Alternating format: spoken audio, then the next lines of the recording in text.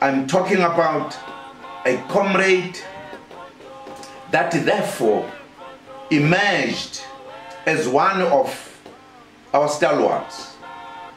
That as we went to the struggle, as we were beginning a process, they had to spend 27 years in prison.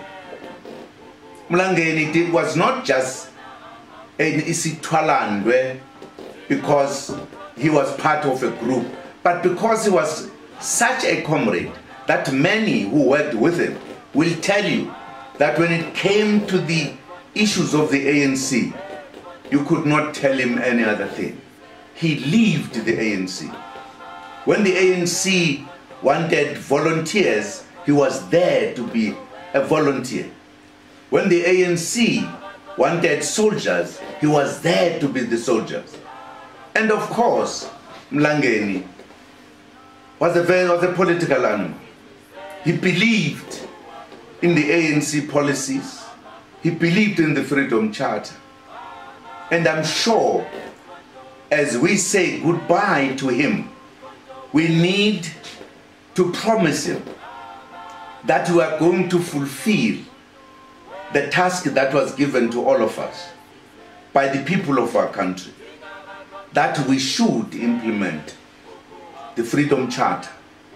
Because the Freedom Charter is a document that was produced by the people under the leadership of the ANC. But it says you need to change the lives of our people. We need to bring equality. We don't need to create new policies. The policies are there. I'm sure, as we used to talk to him, that we have not yet completed the, the, the implementation of the Freedom Charter so that we can change the quality of our lives.